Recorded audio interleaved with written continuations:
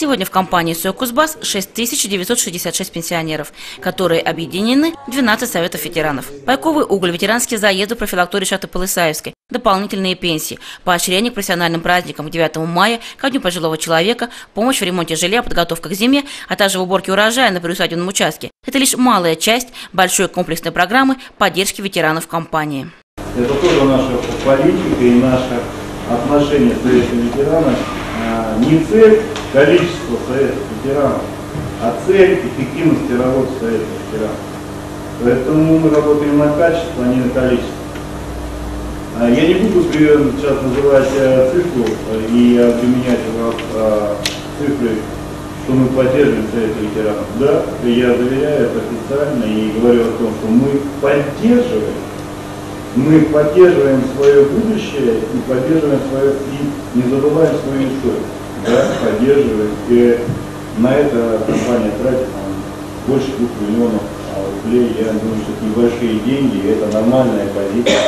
Сегодня на многих предприятиях компании работают музеи шахтерского труда. Самое активное участие в их создании принимали ветераны. Большая часть пенсионеров компании еще полны энергии и с радостью проводит мероприятия в подшефных школах Ленинска-Кузнецкого, Киселевска и Прокопьевского района. Рассказывают ребятам о шахтерском труде, стараются развить интерес к этой профессии. Мы посещаем ее, пытаемся ребятам рассказать э, то, что у нас есть. Э, ну, я в основном рассказываю о том, что происходит у нас на шахте, как шахта работает, чем шахта живет.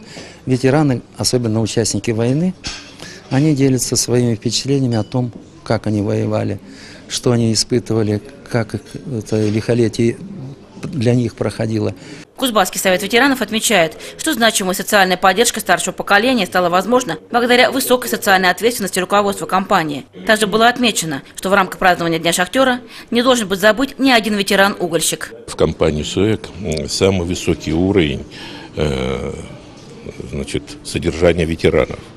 Здесь расходуется в год э, порядка около 10 э, тысяч на каждого ветерана. Это очень много. Или 100 миллионов за 2011 год, что, ну, что просто замечательно. Это действительно высокий уровень среди других компаний.